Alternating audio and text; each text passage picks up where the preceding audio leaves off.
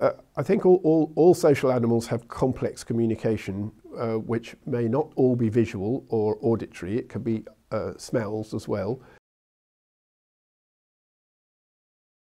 If you live in the water, then the pressure around you varies in subtle ways, and so fish are getting information from other fish, which is, which is via pressure senses.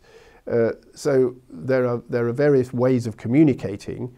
Um, we're not very good at the, uh, the olfactory one. Um, when, when you look at a dog, the dog is investigating what other dogs have done in the past and what other animals have done in the past, and it's getting a lot of information, which is communication of, of a sophisticated nature, which we don't know about and we can't do very well.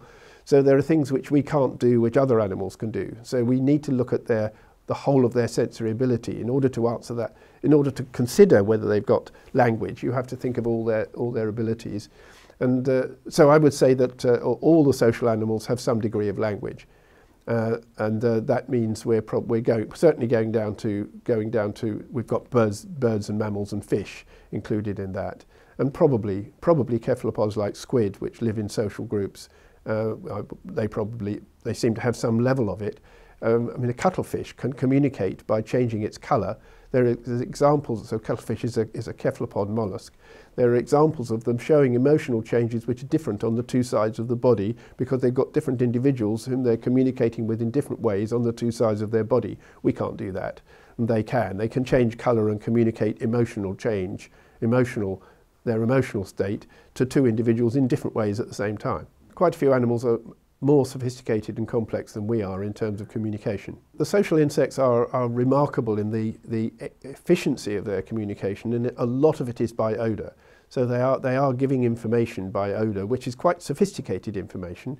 And social insects also, of course, can use visual cues, as, and, uh, and that we know that we know that bees can indicate to other bees where a food source is and how good a food source it is so that the other bees can use that information and go out there. That's been known for 50 years. Um, but it's actually a more sophisticated mm, uh, situation than we originally thought. Uh, so, so social insects are able to communicate using odor and using vision and using sounds and also they can learn they can learn route how to go from one place to another in an efficient way and they can, uh, having learned a route, they can cut across corners because they've worked out the route in their head, as it were. So, so they have quite sophisticated ability in terms of moving around their environment and communicating to others. Uh, it's probably less. It's probably less less complex than what verteb vertebrate animals can do. So some vertebrates are a bit better at it. We are very good at it. We're very good at navigating.